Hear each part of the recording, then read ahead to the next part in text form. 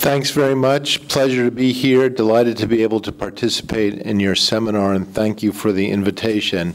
Uh, my brief discussion of the demographics will parallel what David just said. Uh, I think it's well known now that the African population will double between 2040 and 2050. Uh, depends on the country. Uh, as to exactly when the doubling occurs, and there is some differentiation in terms of growth rates across the continent. Uh, however, I think the critical thing to say at this point is uh, this is an unstoppable train in terms of the next doubling. Uh, the mother who gives birth to the 400 millionth Nigerian has probably already been born okay? So there's no stopping this. There may be a potential to stop further dramatic demographic growth, uh, but the demographic inertia is so vast uh, that uh, the question becomes really how are we, how are you, especially going to cope with this, rather than how are you going to stop it? Uh, why is the population growing so fast? Um, and Africa is increasingly different from the rest of the world. Of the 2.4 billion or so people who will be added to the world by 2050. About 1.3 billion will be in Africa. Africa is really the only continent that's going to get younger for the next few decades. Uh, rest of the world, especially the developed world, is going to get older uh, simply because the number of live births is going to decrease as a proportion of the population. Some countries, like China, are going to start getting old very quickly because of their population practices over the last few years, and Asia has slowed down. So Africa will be a very young continent in a world which is getting older. The challenge ahead, I think, is quite significant. To give you some idea, Asia grew by uh, grew its population by about 3.7 fold between 1950 and 2050, uh, uh, the relevant uh, time for rapid population expansion in Asia. So that's about 3.7 fold over a century. We're predicting that between 2000 and 2100, Africa will grow by 5.18 fold. Uh, so even compared to Asia, which in the popular mind, at least in the United States, is considered to have a fast uh, growing population, or was until recently, Africa is growing that much faster.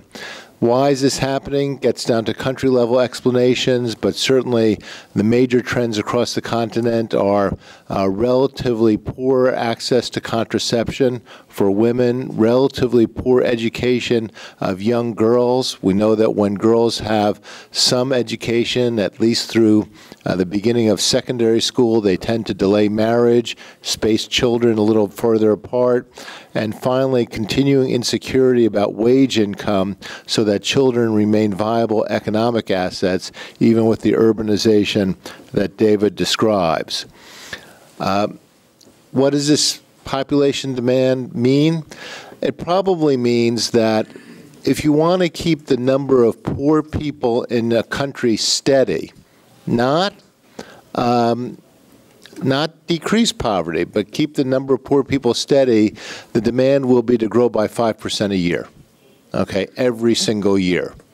Uh, that's pretty hard to do. It was done briefly during the last decade or so due to commodity prices being relatively high, but it will require countries to grow relatively fast just to keep the number of poor people steady.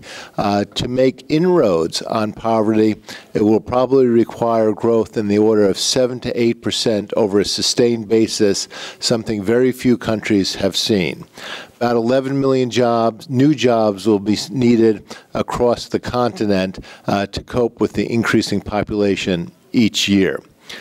So, as David said, this feeds into the urbanization story because, of course, so many of the people who will be born uh, will either be born in the cities or will migrate to the cities. And urbanization, as David said, is not only a phenomenon of migration, but it's an, also increasingly a phenomenon of the organic population within urban areas having children.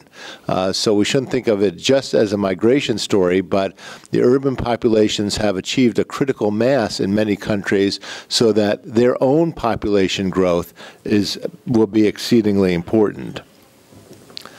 How to understand all of this? Um, and let me step back and try to put it in this perspective.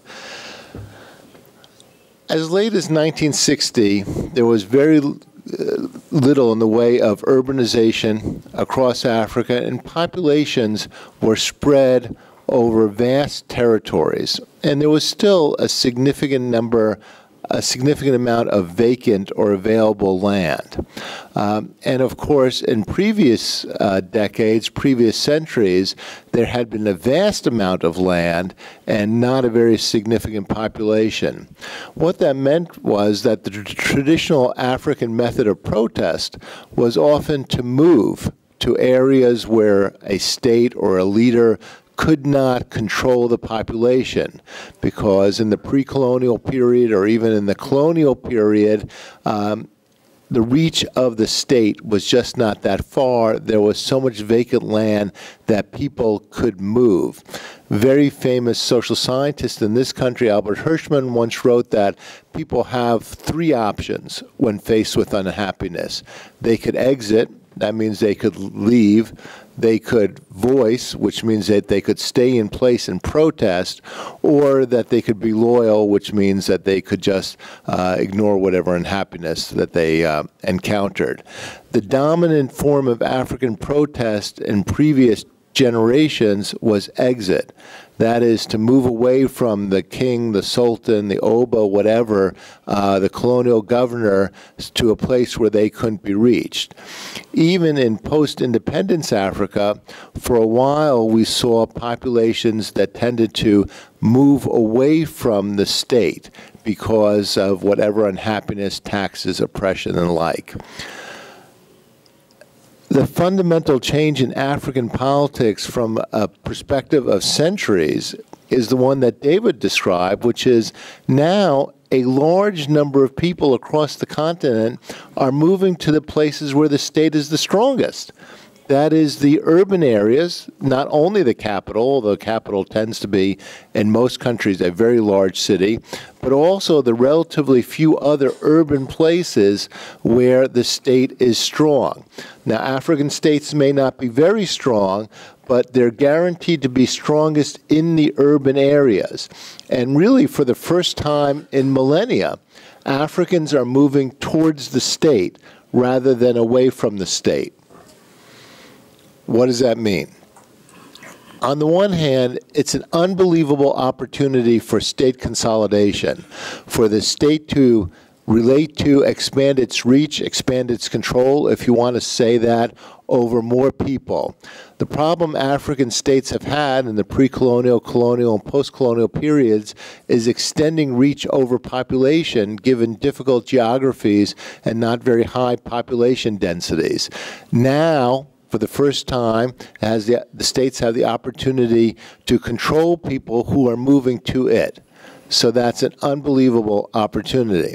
The challenge is, paralleling what David said, that the people are really close to the state now and that the threat of popular po- protest, the threat of unrest, the threat of urban protest destabilizing states is much greater than it has been in previous decades because the urban population is a much larger proportion of the total population.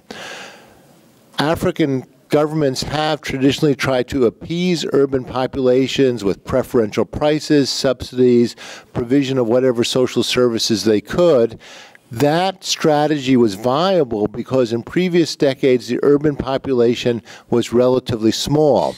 Now you have a host of countries which will see their urban populations be more than 50% of the national population in the next few decades and to appease or to relate to those populations which are physically quite close to the state and therefore quite threatening to the state will be very expensive indeed. So there's an opportunity for the state to control the population much better, but there's also the opportunity for populations to voice their grievances and to protest much more than before.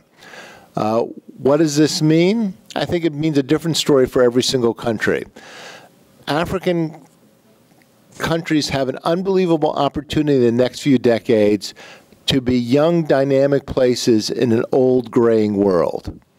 That's an opportunity that should not be underestimated. Young people are the most dynamic, they're the most entrepreneurial, they adapt to technology quickly. Africa will have a greater proportion of young people than any other place in the world.